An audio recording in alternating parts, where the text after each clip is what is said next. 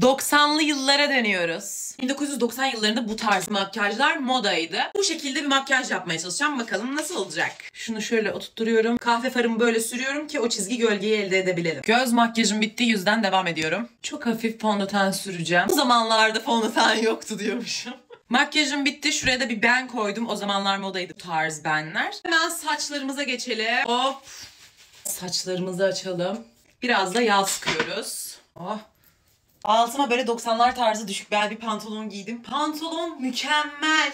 Üzerime de böyle siyah bir crop giydim. İçime şu siyah bandanayı takacağım. Ya bu şekilde takacağım ya da bu şekilde takacağım. 90'lar tarzı abimin bu ceketini buldum arkadaşlar. Bunu giyeyim dedim. Ben şey olmadım mı? Amerikan futbolu oynayan erkeğin kız arkadaşı.